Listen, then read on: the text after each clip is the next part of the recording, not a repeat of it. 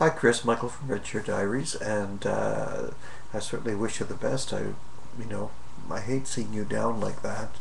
I mean, I've been there, uh, but I haven't been laid up to the extent you are. So, you know, so I can't. Uh, I can only empathize. I, I, uh, I, I'm not going to use those expressions like I know how you feel and things like that, because those drive us crazy.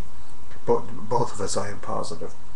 Um, anyway, I was. Um, I'm not going to use any of those, like I said, tired expressions and keep your chin up because you know you know what we would say anyway. And you you know that we want you to feel good, uh, as we do, and that you wish for us all. So we're all in this together. And once again, I share my. Um,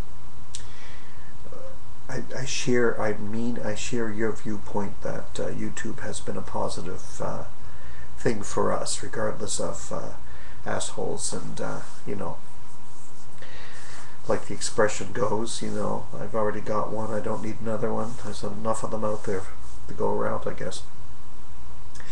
Um, I am curious how is the weather down there? Because I know that when you know you're trying to get around the winter to doctor's appointments it is just hell.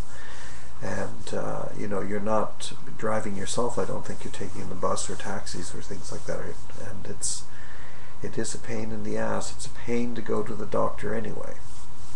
I mean, my visits, visits to doctors are a lot less troublesome than yours, that's for sure. Uh, anyway, I wish you the best, and uh, you know, I think spring might be coming some point in the fall because it. We've had a really, we've had a very bizarre spring up here, and it can't be all that much different for you in Maine.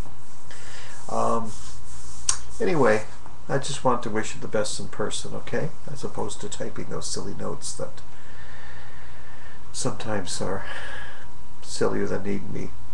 Oh, and another thing, the comments you left last week about comments made on your station or something like that, they don't reflect on you at all, and I didn't uh, take them that way, but uh, very nice of you to,